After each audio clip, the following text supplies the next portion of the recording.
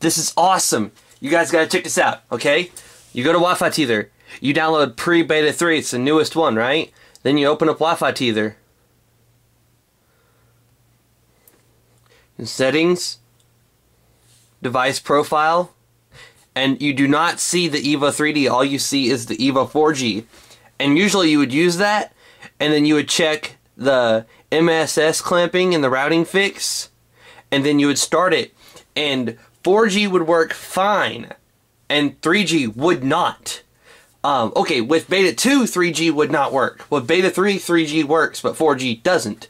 But that's because with the newest 2.3.4 update that we got yesterday, it breaks support for 4G and Wi-Fi Tether because they changed the names of stuff. And I think they changed the location too. But anyway, um, the Harald guy that is over there on the website updated it to Beta 4. And I'm going to install it real quick. Open. Menu. Settings. Device profile. HTC Evo 3D.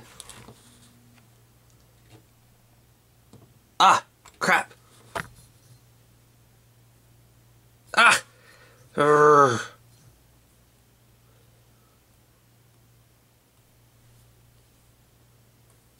There. Now the 3D's on the support. Now the 3D has support.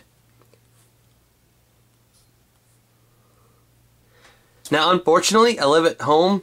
Well, I live in an apartment that's three stories high, and I don't get hardly any signal at all. Um, so I'll have to go somewhere like McDonald's or something here in Kansas City and get a, a better signal. And 4G picks up great here.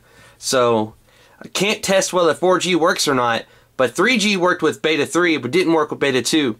So 3G should work fine with Beta 4, and now 4G should work as well.